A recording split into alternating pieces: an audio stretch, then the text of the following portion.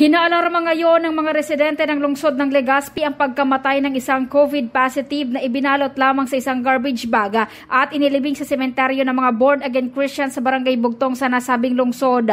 Sa panayam ng Brigada News FM Legazpi kay Barangay Kapitan Armando Toledo ng nasabing barangay, ang nasabing persona ay positibong namatay dahil sa sakit na coronavirus disease.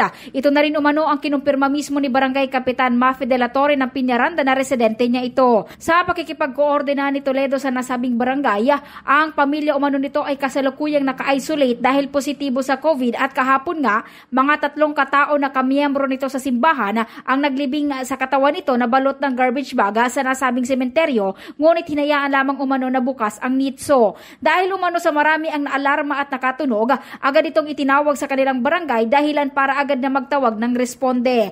Narito ang parte ng pahayag ni Kapitan Armando Toledo. Masarong COVID positive na po yan na nagadaan, ilinubong digdi kang mga kamimbro ninda sa born again Christian. Tayo ni kayang lubungan digdi, pag sa diri ni kang born again Christian. Kaso tinag ninda digdi o, binalat lang, ikinag sa reservadong nitso, isinurok lang, then uh, binayaan na. Kaya kaproblema digdi, tayo na nga na yan, tadag kariribok, nakapot sa kuya, uh, binayaan sa netong bukas.